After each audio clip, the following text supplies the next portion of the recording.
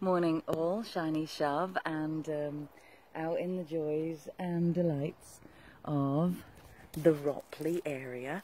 Um, Today's Shiny Shove is a call because it is the 1st of September.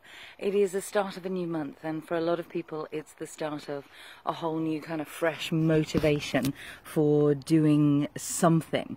It's sort of the start of term element, uh, at least here in the UK. Um, so, my urge is this what is your September challenge for yourself?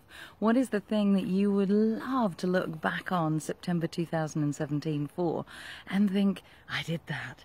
Um, I I committed to getting 20 blogs done across the websites that I have uh, by the 6th of October, so really by the end of September.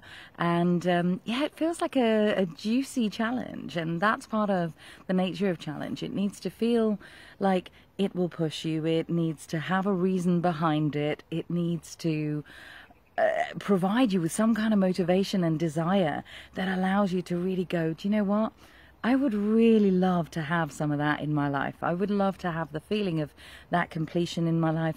I would love to have the result of doing and taking the action toward that in my life and I would really like to have the the fun and the experience of pushing myself or goading myself or nudging myself or surprising myself in getting it done. So, uh, that is September 1st Shiny Shove. What is the challenge that you would like to take up for the whole of, I just thought you might like to see where we are, um, for September. So I'd love to know what yours is. Public commitment always makes a challenge that little bit juicier and gives it another little edge. So feel free to share mine, 20 blogs by the end of the month.